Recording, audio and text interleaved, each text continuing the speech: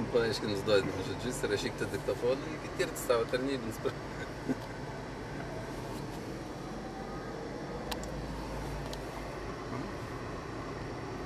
Irgi švistra kamera. Palaikyk, kad nedrebėtų. Mhm.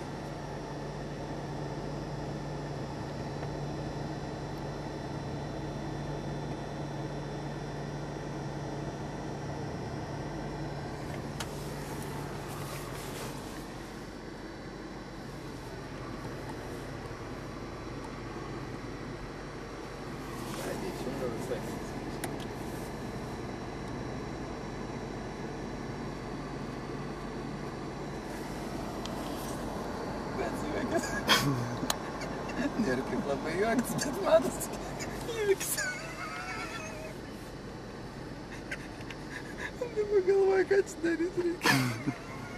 Kas čia atsitiko, dabar galvoju. Per aną skaidrų gal langą filmuok, žinai. Nes nebeskaidruosiu.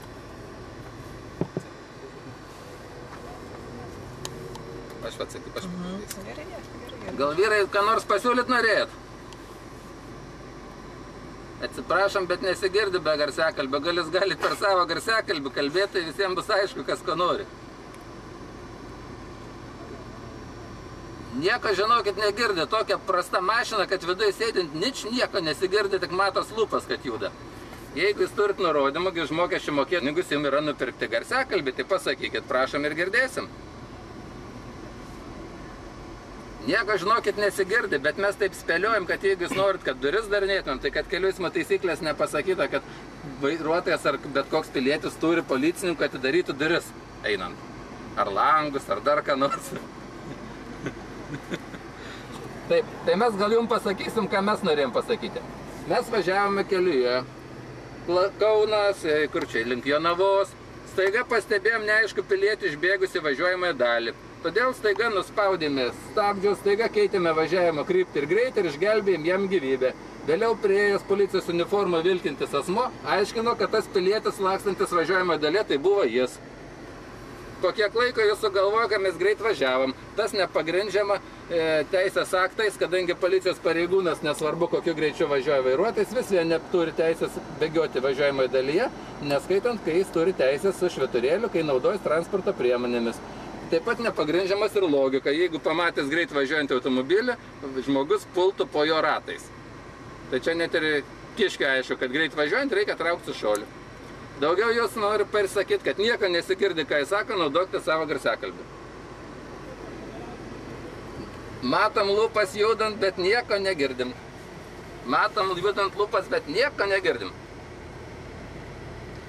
Jokio signalo sustabdyti transporto priemonę nesam gavę, todėl čia stovim savo norą dėl to, kad policija informuoti apie tą pažeidimą, kad jūs pradėtume tarnybą patikrinimą ir laukiamės padėkos už išgelbėtą jūsų valstybės tarnautojų gyvybę ir sveikatą, nes tai būtų mokesčių mokėtėm kainavę. Todėl vyrai padėkokit ir viso gero. Laukiam.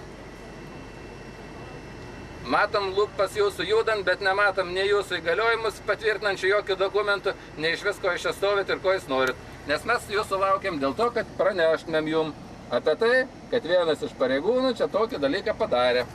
Ačiū, kad atvažiavot ir aptvėrėt įvykę vietą. Dar mūsų nurodymų buvo jungti avariniai šviesas jūsų tarnybinėme automobilyje, mūsų nurodymų buvo įjungtas šviturėlis, bet ne, mūsų nurodymo nevykdė pastatyti avarinį ženklą sustojimą. Nu, avarija yra, nėra, bet ženklas būtų nepakliūdęs. Vėl matom jūsų lūpas judant, bet vėl nieko negirdim. Aš jums sakau, ponai, pasinaudokite tarnybinio automobilio garsiakalbiu ir girdėsime tada viską. Jeigu mes piliečių iš savo pinigus nusiperkam garsiakalbis, kad jūs girdėtume, tai būkit maloni, pasinaudokit tarnybinės garsiakalbis.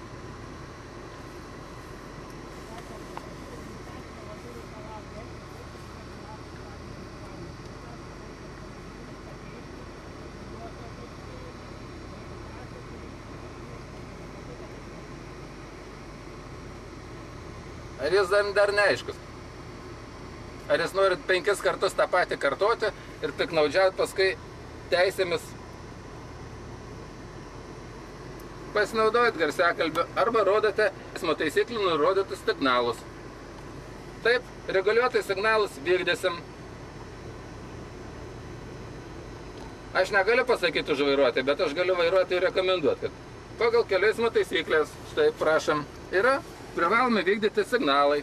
Už jų nevykdymą vairuotojas gali būti patrauktas atsakomybėn. Tas asmo, kuris dabar sėdi prie vairo, jis nenuvažiavo dar nei vieną centimetrą ir jis nėra tas vairuotojas, kurį jūs čia įsivaizduojate.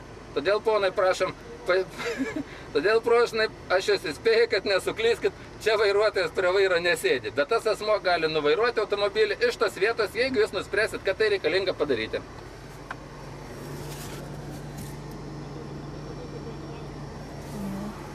Jeigu duosit signalus kelių eismo taisyklėse nustatytus, tas žmogus, kuris norės vairuoti, signalus ir įvykdys. Taip. Tai viskas, užtenka jums informacijos apie tai, kad jūsų pareigūnas lakstė važiuojamoje dalyje. Nieko ne. Ar jums pakanka informacijos? Linktelkit galvom. Ar man skambinti nepasitikėjimo telefonu 271 9999 į policijos departamentą? Man atrodo, jūs jau pakankamai savo diktofonus įsirašėt, ką aš pasakiau, kad jums būtų galimybė pradėti patikrinimą. Kodėl jūsų pavaldiniai bėgioja kelio važiuojamoje dalyje? Kodėl jie savo veiksmais priverčia kitus eismo dalyvius taiga keisti judėjimo kryptį ir greitį ir taip sudaro avarinę situaciją. Taigi susirinkite įrodymus. Apie tai viso gero. Man daugiau jūsų paslaugų nereikia.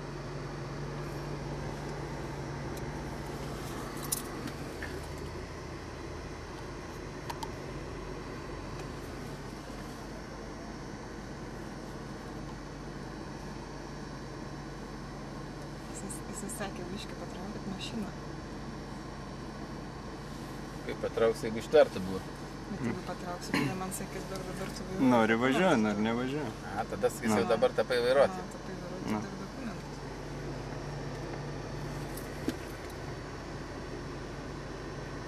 Jarusevičius, Puko televizijos vyriausias. Laida tokia yra. Skiriasi pažeidimus, gaisrus, nelaimės. Čia vadovauju tam viskam. Čia reikia daugiau filmuoti, ar čia visi važiuojam. Geriau agituokim, kad važiuojam. Bet jeigu jie norės treniruoti, tai tada jau jų reikalas vienas reikia.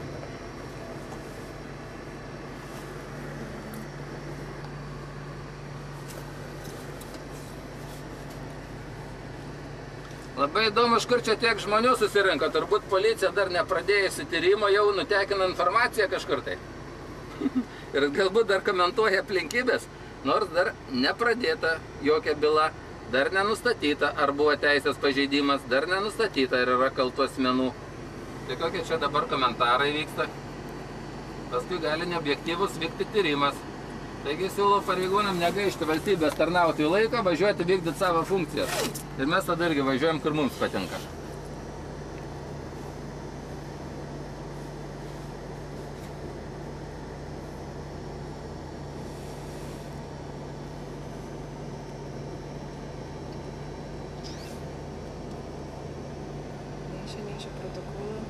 Jis nusinešė vėl. Kaip čia per daug, man atrodo, susirinko vienam kartui. Visi subėgo, visi kauno policija.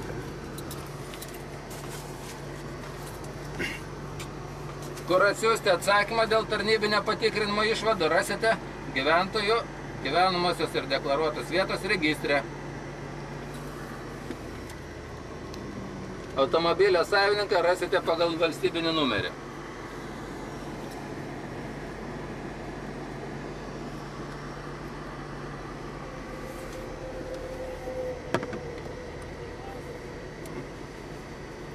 Ką toksai gestas reiškia, toj pažiūrėsim taisyklėse. Reguliuotojai signalai ir jų reikšmės. Kažkaip tai nematom tokia tai atitinkančia.